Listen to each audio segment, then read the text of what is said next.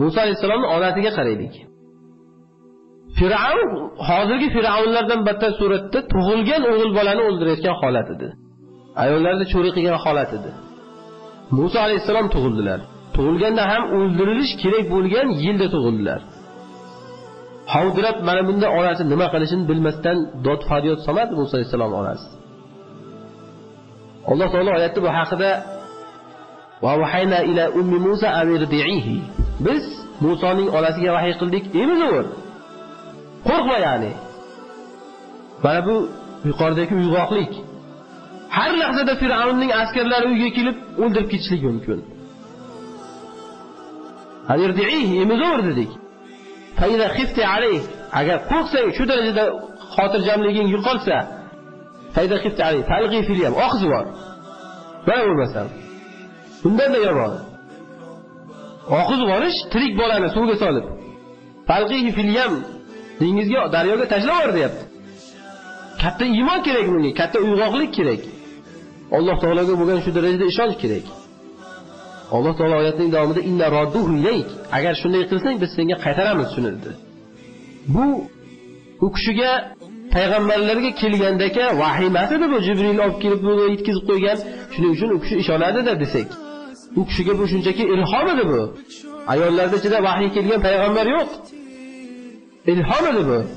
Alloh taolo shunaqangi xayoliga shunaqangi tafakkur berdi uni. Emizaveraman juda agar xavf xatar kuchayib ketsa oqizib yuboraman alloh taolo o'zi qaytaradi menga.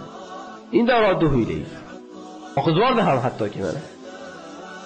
Oqizib yuborgandan keyin holatni alloh taolo bayon qiladi. Mana bu ham bizga muhim nuqta. Biz oqib ketdik yoki oqib yubordik deganligi olloh tomonidan bizga osmondan ofiyat yog'ilib qolmaydi birdan. Xavf xatar kuchayadi arada. oqibat alloh taolo taqvodorlarni sifatlaganda nima degan? Har lahzada ularga bir yutuq keladi nima degan? Innal aqibata lil muttaqin degan. Oqibat taqvodorlarniki bo'ladi. Hozir bizniki bo'lmaydi to'g'ri. Erta ham bizniki emas. Lekin oqibat bizniki bo'ladi. Agar taqvodor bo'lsak. Innal aqibata lil muttaqin dedi oqibat taqvodorlar uchun dedi. Oqiz yubordi qo'rquv qattiqlashdi. Qayerga ketganligini bilmadi domdaraksiz. Opasini jo'natdi. Qani dedi. Qayerga borar ekan dedi. Opasini jo'natgandan keyin opasidan hol ahvol so'rab turadigan hozirgi aloqa vositalari ham yo'q edi unda. Alloh taolo bu holatni bizga hikoya qilib aytadiki musoning onasining qalbi bo'm bo'sh bo'lib qoldi deydi tasavvur qiling shu holatni bolasini oqizib yubordi. Ya'ni qalbida boshqa hech narsa yo'q. Shu nima bo'ldi ekan degan xayol. Yo'lda uni ehtimol bir fir'avnni askari ushlab o'ldirib yuboradi sal bo'lsa oshkor qilib qo'yardi. Ya'ni shu meni bolam shu oqib ketayotgan bola deb jar solib qo'yardi. Agar biz shu qalbini boylab turmaganmiz deydi mana bu uyg'oqlik degani. Qalbini olloh boylab turibdi. U ham ona edi u ham. Bag'ri toshmas edi u ham. Alloh taolo oqibatni mana shu ayolniki qildi mana. Bu yuqoridagi g'ofila bo'lmaslikning sababi.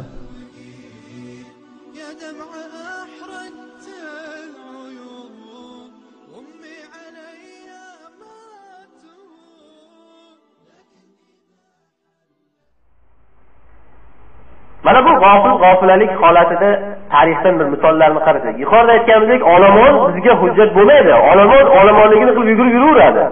Mana shu yugurganlarni ichida bir odam to'xtashligi kerak. Xuddiki insonlar bir uy inson uxlayotgan bo'lsa bir o'nta odam uxlayotgan bo'lsa mana bu insonlar hech qaysi biri birini uxlayotganini sezmaydi. Tashqaridan bir odam kirib qolsa bunday qarab bular hammasi o'lib yotdi ekan deydi. Biz demak agar uyg'oq yoki uxlayotganligimizni his qilmoqchi bo'lsak o'zimizga o'xshagan odamlarga qaramaymiz. Uyg'oqligini aniq bilgan odamlarga qaraymiz shuning uchun ham sahobalardan birlari aytganki من كان يقتدي فليقتدي بمن مات فإن الحي لا يؤمن عليه الفتنة kim agar ergashmoqchi bo'lsa o'lib ketgan zotlarga ergashsin deydi sahobalarga ya'ni buni sahobiy aytgan tobiinlarga chunki tirik odamga fitnalanishligidan omonlik yo'q deydi tirik odam ham uxlab qolishi mumkin u ham biz uyg'oqligi aniq bo'lgan ana shu sahobalarni holatiga qarashligimiz kerak O'shalarni holatiga qarasak biz o'zimizni uxlayotgan yoki uyg'oqligimizni bilib olamiz. Atrofdagi insonlar gohida bir inson kirib uxlayotgan insonlarni ichiga turinglar desa kimdir uni so'kkan kimdir uni tekkilagan kimdir ikki kishi uyg'ongan kishi bo'lib olib shivirlashib bu nima deyapti? degan. Chala uyqu odamlar bular. Mana shundan ham aslida biz kim uyg'oq kim g'aflatdaligini bilib olsak bo'ladi. Agar bir odamga mana shunaqangi ta'nalar ko'payayotgan bo'lsa bu bir alomatki bu g'aflat bosib uxlayotgan odamlar ichida uyg'onib qolgan bir odam bu. Shuning uchun ham bir uy uxlayotgan odamni ichiga kirib olib turinglar deganda haligi insonlarni g'azabi kelib nima deyapti bu deb kimdir turib olganga o'xshagan insonlar ham bunga qarab mana shunaqangi ensasi qotadigan bir odamlar bo'ladi. Shundan bilib olamiz biz uxlayotgan bilan uyg'oqning farqini. Demak bir odamga agar shunaqangi holatlar bo'ladigan bo'lsa biz undan qochishimizni taqozo qilmaydi bu demak bir alomatki u uyg'onganroq odam ekan shu shuning uchun mavlasi uxlaganligini ko'ryapti degan bir alomat bo'lishi kerak.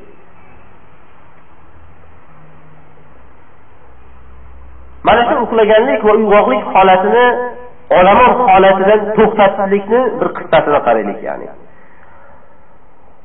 Alloh taolo fir'avn zulmidan bani isroilni qutqarish uchun muso alayhissalomni jo'natdi. Muso alayhissalom bani isroilni olib qissada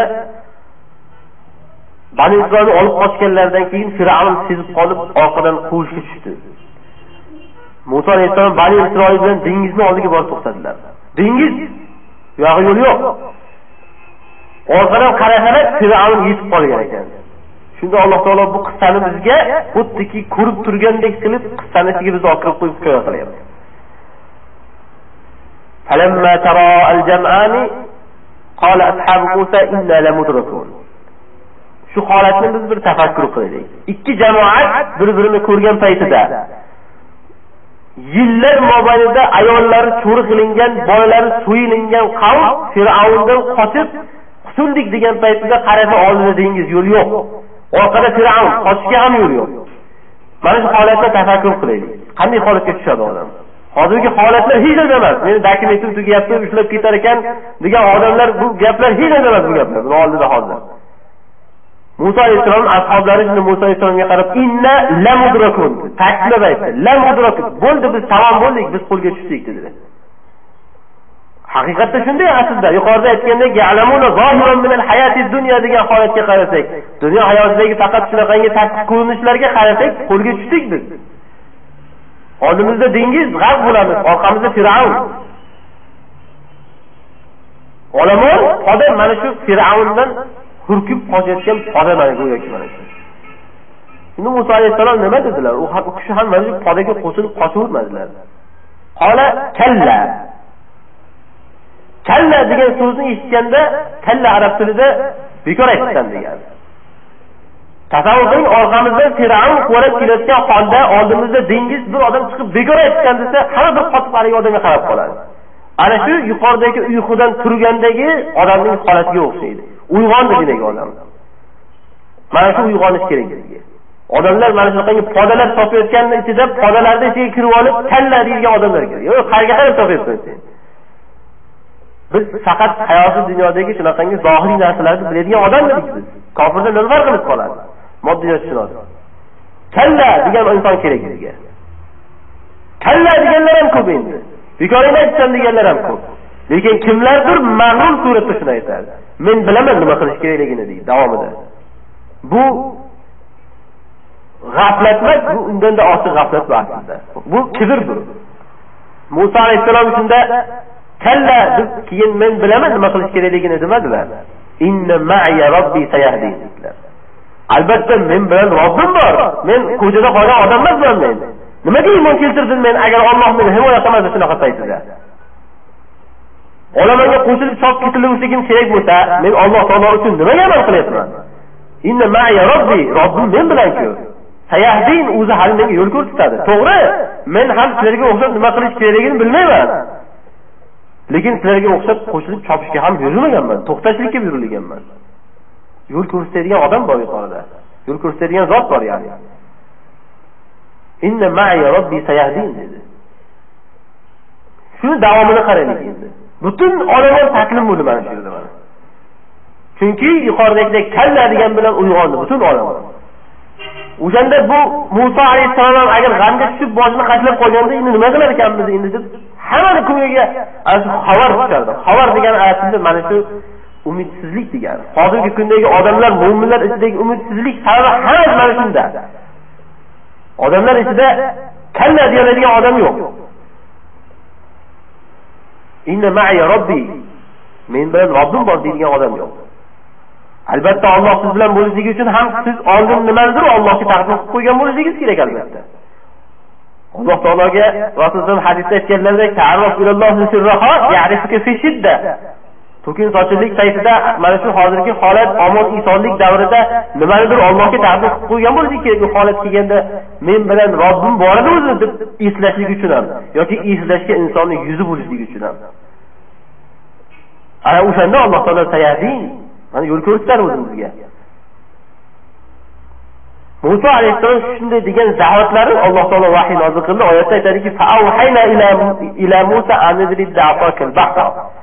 shu zahoti fa kalimasini qaraylik mana. Shu zahoti biz musoga vahiy qildik atoing bilan dengizni ur dedik. Demak muso alayhissalom ato bilan dengizni urish kerakligini bilmadi u kishi. Shu zahoti olloh vahiy qildi u kishiga. Nima uchun? Yuqoridagi holat inna ma'a robbi sayahdin degan uyg'oqlik bo'lganligi uchun. Shuning uchun ham biz hozirgi kunda bu holatlar bizga bu shunaqangi yo'lini yo'qotib qo'ygan odamlarni holatiga solmasligi kerak bizlarni olomonga qo'shilib biz ham mana shunaqangi moddiyatchilar bo'lib qolmasligimiz kerak. Hamma narsani mana shu moddaga qaytlab aslida bir nizom bu kufr nizomlari bo'lgan nizomlarga hozirgi kundagi hammani boshidagi g'am shu. Mana shu qog'oz varoq dokument degan narsalar. Bu g'aflat bu. Insonlarda uyg'oqlikka sabab bo'lishligi uchun bu g'aflat ayollarga sezilmasligi mumkin. Ya'ni mana shu masala. Xosatan olomonga teggan mana shu balo shu qog'oz varoqlik balosi ayollarga sezilmasligi mumkin lekin erkaklarni sochini to'kkan narsa mana shu hozirgi kunda. Shunda ayol kishi shunda eriga mana shu gaplarni eslashligi kerak. Robbi deydigan odam bo'lishligi kerak. G'ofila bo'lib unga qo'shilib haligi hurkigan bolani battar hurkitmasligi kerak. Bu payg'ambar deyishligi mumkin kimdir? Musodir lekin oddiy insonlarda ham bu narsa ko'rilgan. Muso alayhissalomni onasiga qaraydi. Fir'avn hozirgi fir'avnlardan battar suratda tug'ilgan o'g'il bolani o'ldirayotgan holat edi ayollarni cho'ri qilgan holat edi muso alayhissalom tug'ildilar. Tug'ilganda ham o'ldirilish kerak bo'lgan yilda tug'ildilar. Havdirab mana bunda onasi nima qilishini bilmasdan dod faryod soladi muso alayhissalom onasi alloh taolo oyati bu haqida biz musoning onasiga vahiy qildik deymiz u qo'rqma ya'ni. Mana bu yuqoridagi uyg'oqlik. Har lahzada fir'avnning askarlari uyga kelib o'ldirib ketishligi mumkin. Dedik. Agar qo'rqsang shu darajada xotirjamliging yo'qolsa oqib yubor mana bo'lmasa undanda yomon. Oqizib yuborish tirik bolani suvga solib dengizga daryoga tashlab yubor deyapti. Katta iymon kerak bunga katta uyg'oqlik kerak. Alloh taologa bo'lgan shu darajada ishonch kerak. Alloh taolo oyatining davomida agar shunday qilsang biz senga qaytaramiz shuni bu u kishiga payg'ambarlarga kelgandagi vahiy bu jibril olib kelib yetkazib qo'ygan. Shuning uchun u kishi ishonadida desak. U kishiga bu shunchaki ilhom edi bu. Ayollarni ichida vahiy kelgan payg'ambar yo'q. Ilhom edi bu. Alloh taolo shunaqangi xayoliga shunaqangi tafakkur berdi. Emizaveraman juda agar xavf xatar kuchayib ketsa og'ib yuboraman alloh taolo o'zi qaytaradi oqizib yubordi ham hattoki mana oqizib yuborgandan keyin holatni alloh taolo bayon qiladi. Mana bu ham bizga muhim nuqta. Biz oqib ketdik yoki oqizib yubordik deganligi olloh tomonidan bizga osmondan ofiyat yog'ilib qolmaydi birdan. Xavf xatar kuchayadi yanada oqibat alloh taolo taqvodorlarni sifatlaganda nima degan har lahzada ularga bir yutuq keladi nima degan innal aqibata lil muttaqin degan. Oqibat taqvodorlarniki bo'ladi. Hozir bizniki bo'lmaydi to'g'ri. Yesa ham bizniki emas. Lekin oqibat bizniki bo'ladi. Agar taqvodor bo'lsak. Innal aqibata lil muttaqin. Oqibat taqvodorlar uchun. oqib bordi, qo'rquv qatirmasdi, qayerga ketganligini bilmadi, dondarakni. Opasini jo'natdi, qara dedi.